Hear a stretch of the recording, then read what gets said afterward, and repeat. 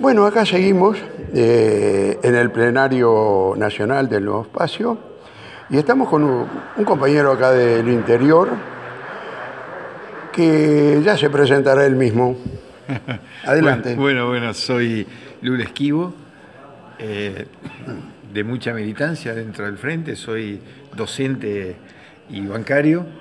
y eh, hoy por hoy... Justo hoy que estamos acá en el Club del Banco Hipotecario. Claro.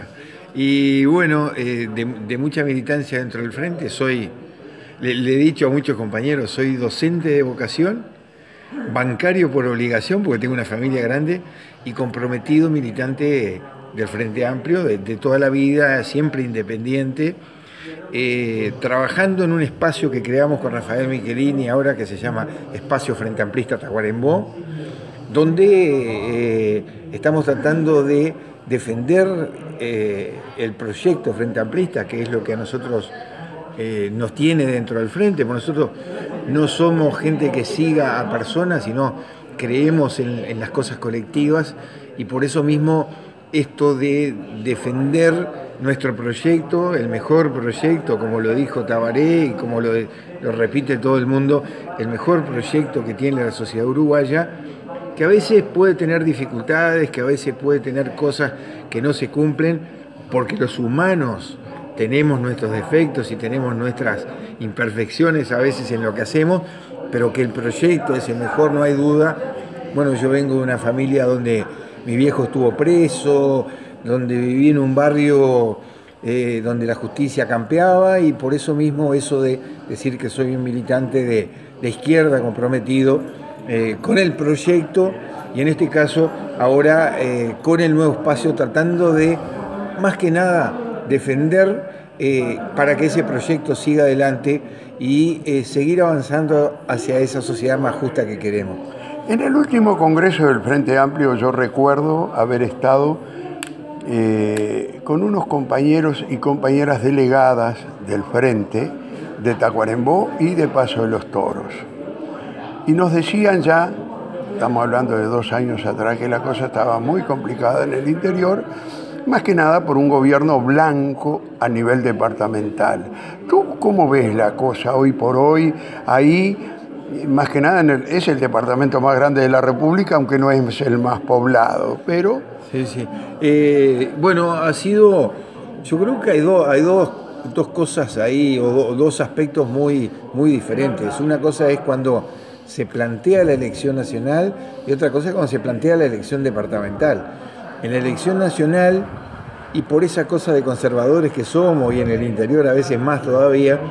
eh, nosotros tenemos votaciones bastante similares a la del Partido Nacional, lo cual no es así en las elecciones municipales donde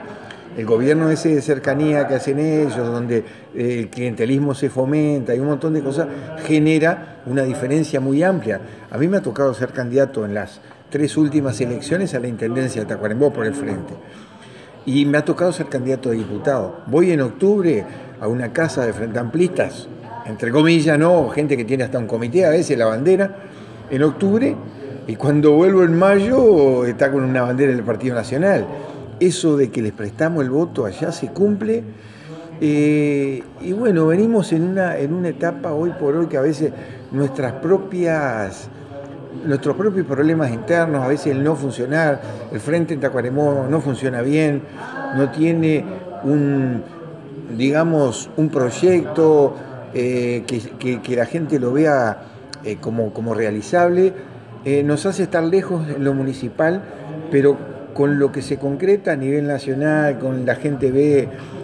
lo que es un poco su vida, cómo ha cambiado, bueno, cuando llegan las instancias nacionales, eh, yo creo que hasta a veces los propios candidatos, los propios líderes blancos hacen una guiñada y como que no insisten mucho con, con el tema de, bueno, eh, hacia dónde van a ir sus votantes. Entonces, son dos realidades bien diferentes, la nacional y la departamental,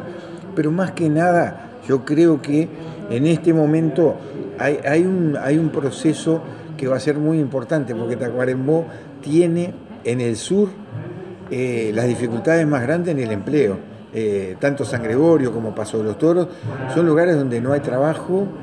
eh, todo el departamento viene sintiendo un impacto importante y creo que la planta de UPM ahora que se instala ahí en la zona está generando una expectativa grande que nosotros tenemos que trabajar mucho, digo desde los que estamos eh, en el Frente Amplio, para que luego de ese impulso grande que va a haber, que va a ser de 3, 4 años, a lo sumo 5, esa gente no quede ahí en peor situación que la anterior. Y nosotros, particularmente con el espacio y con Rafael, estamos trabajando en el tema turismo termal en Paso de los Toros, por ejemplo, donde eh, hay, un, hay un proyecto, hay un estudio, hay un montón de, cosas avanzadísimas.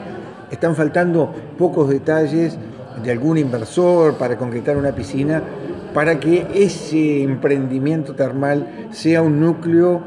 eh, sólido para generar trabajo genuino ahí en la zona. El turismo genera trabajo a muchísima gente, desde el que vende una empanada, una artesanía, el que tiene un hotel o que tiene un restaurante o al que vende servicios de todo tipo. Entonces, ese trabajo y las posibilidades ahí en la zona con una, una realidad donde falta empleo, bueno, creemos nosotros que va a cambiar mucho la situación de Tacuarembó.